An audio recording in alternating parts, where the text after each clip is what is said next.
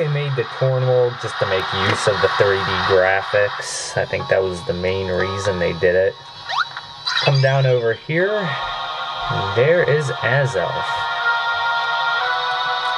Pointing to the boulder. Let's push it down.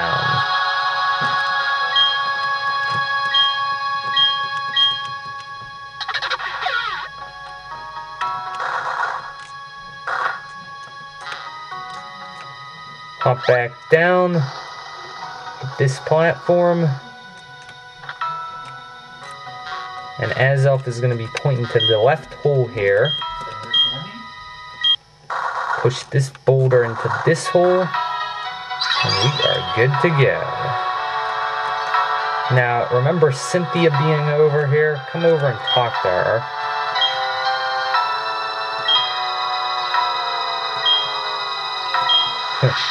Apparently not, but look at that platform there.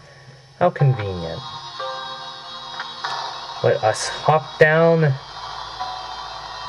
And there is Cyrus in the distance.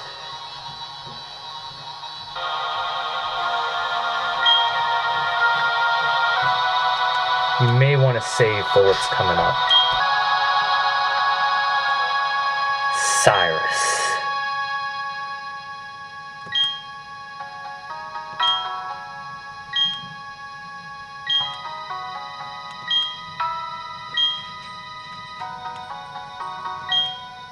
I won't lose.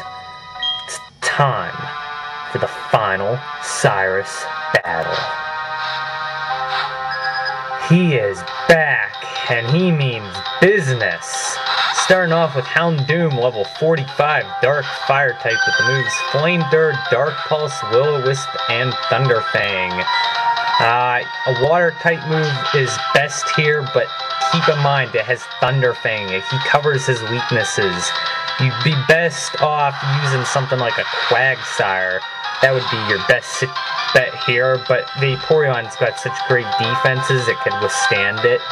Uh, just so you know, I leveled up all my Pokemon with some rare candies since I'll be restarting after the walkthrough. I figure I might as well use them and I need them here because this is a really tough battle. Next up on the roster is Gyarados, the toughest of probably them all.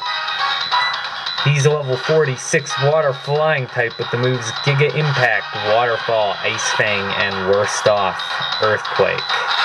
If you're using an electric type, that is where things are evil. It also has Intimidate, which lowers your attack. That's also evil. If you can withstand an Earthquake here, which I have no idea, I'm praying I can, which I highly doubt, that would be your best bet on this thing. Miracle I survived that. I need to hope for a paralysis here, or I'm doomed. Or a KO. Paralyze, paralyze, paralyze. Ugh. I'm not losing Luxray to that thing. I'll regroup.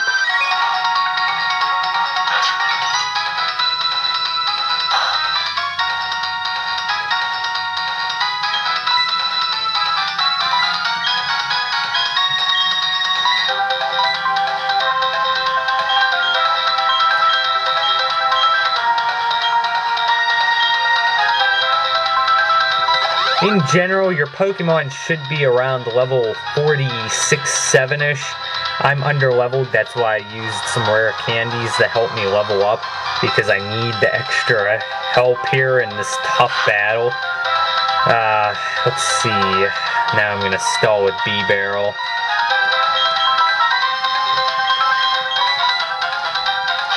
This thing, it, it, depends. It covers its weaknesses. That's why it's so hard to take down.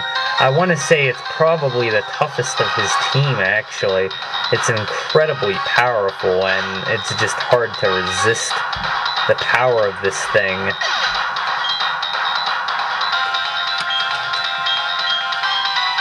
If you're lower leveled, it helps the PowerPoint stall with a lot of Hyper Potions. You should have a very adequate supply of them here. I hope I can live this earthquake as well, since I'm really close to the borderline of dying when he uses it. Okay, good. I'm not taking accuracy risks here.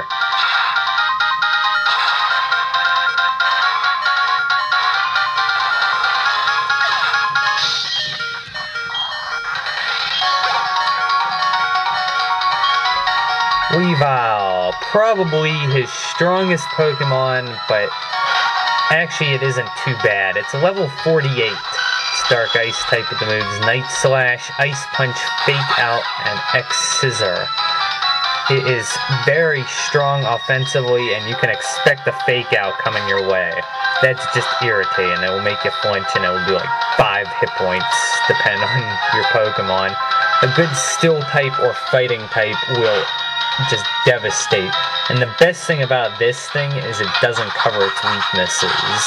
So that is probably why this is one of this actually could be very well his easiest Pokemon to take down.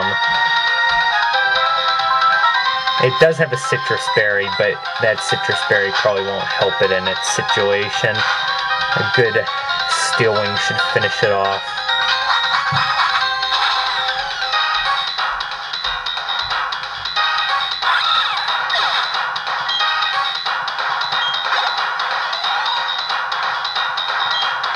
Honchkrow is next on his roster. Honchkrow is level 47 Dark Flying type with the moves Drill Peck, Night Slash, Heat Wave, and Psychic. Good against it because you can beat it at its own game. Uh, uh, Drill Peck, I'm worried about. I'm faster than it, but Drill Peck might KO. Ooh couldn't even do over half damage either. This could be a problem. Oh, wow, I'm switching. I'm not risking it. Okay, you know what? I will risk it. I'm going to use a Hyper Potion on Neptune. I think Neptune can take this thing down, so I'm going to sacrifice Houndoom here.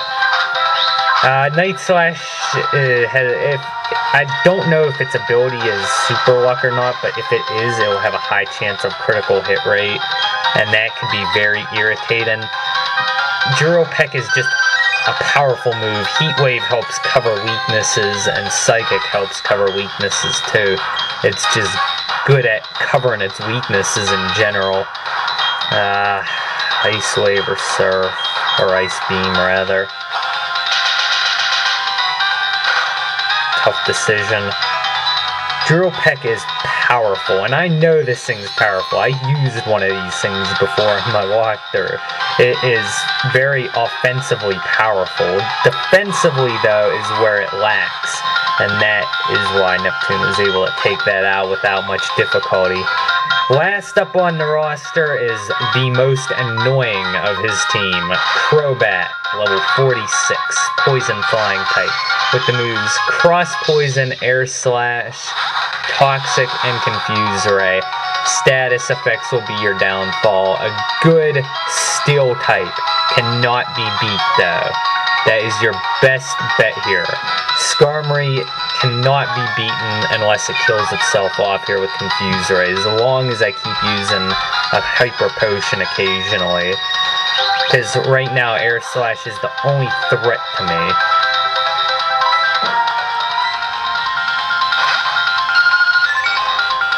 This thing is very fast too, so out, if you think you could outspeed it, that's a mistake.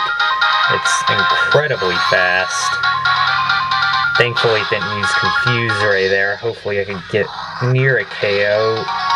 Ooh! It lived. And it didn't heal. And I died.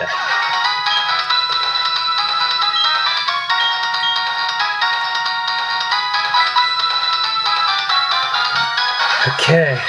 I'm gonna try to outspeed it even though I can't seem to take my own advice. Live. Yes! Yes! Victory!